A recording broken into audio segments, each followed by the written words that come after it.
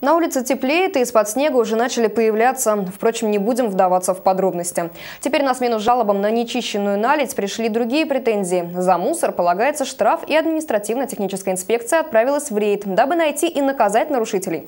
Компанию им составила наша съемочная группа. Сотрудники административно-технической инспекции проводят проверки, в ходе которых выявляют нарушения по благоустройству. Например, припаркованные на газонах машины или мусор во дворах. Ежедневно инспекторы осматривают до полусотни объектов, территорию магазинов, кафе и так далее, а также вокруг жилых домов. Плохо, конечно, это грязь. Людям весь это самое, да детям сейчас такой грипп после зимы. Такой... Выявить нарушение – это полдела. Нужно еще найти ответственных и вынести им для начала предупреждение. В ходе визуального осмотра территории восьмого комплекса был зафиксирован факт нарушения правил благоустройства, а именно прилегающая территория торговому объекту не очищается своевременно от мусора.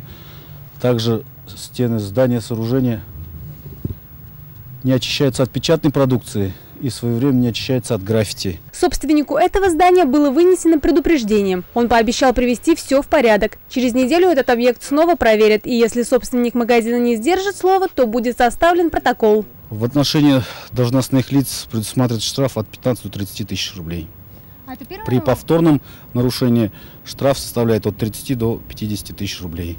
Сама административно-техническая инспекция работает уже три года. Сегодня на пресс-конференции в мэрии ее руководитель рассказал об итогах по первому кварталу 2016 -го. Обследовано а, более э, тысячи объектов, а, осмотрено и составлено более 400 э, протоколов.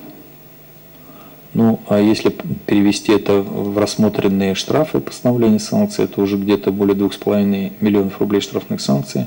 С каждым годом показатели только растут, отметил Айрат Насыбулин. Немалый вклад в эффективную работу инспекции вносят и сами рядовые челнинцы. Ведь большую часть нарушений выявляют именно они. Фиксируют, оставляют жалобы и размещают через приложение «Народный инспектор». Ольга Шапкина, Андрей Буслаков, Ради Ганеев, РЕН-ТВ, Набережные Челны.